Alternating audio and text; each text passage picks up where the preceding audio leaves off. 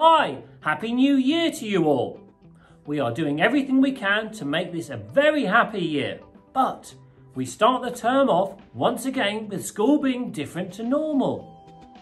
Not all of you will be able to come back next week, but please don't be disheartened.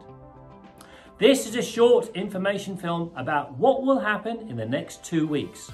After this, we really hope that on January the 18th, our fantastic spring term will start with everyone together. Now, here we go. Both Orion and Goldbeaters will be open on Tuesday for children we feel would benefit from being here according to the government criteria and to children of key workers. Is that you? Now I wonder if you can remember back to the summer. If you were here at the beginning of June, you will be invited to join us. Parents, there will only be a maximum of 15 pupils per group, so we will all be safe. The children will also remain in their current year group bubbles. There will be a text arriving on your phone if you have a place in school for the next two weeks. Please reply yes to this text and come to school on Tuesday in your uniform, or you can ring us on Monday. All of nursery and all of Jets will be offered a place.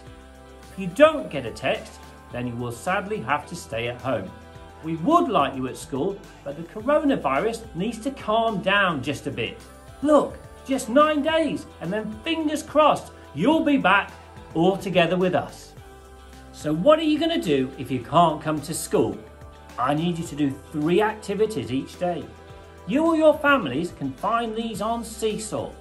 Now, if finding a laptop or iPad is difficult, or you can't print, or you just don't have any paper, then we have our wonderful work packs available. Parents, it is safe and easy to collect a pack from school. Just please wear a mask and drop in from Tuesday. Hey, how can I cheer you up? Well, the Word Up Festival is planned and prepared, but it won't start until we're all back together. That's everyone. Let's have a look at the preparation. What do you think?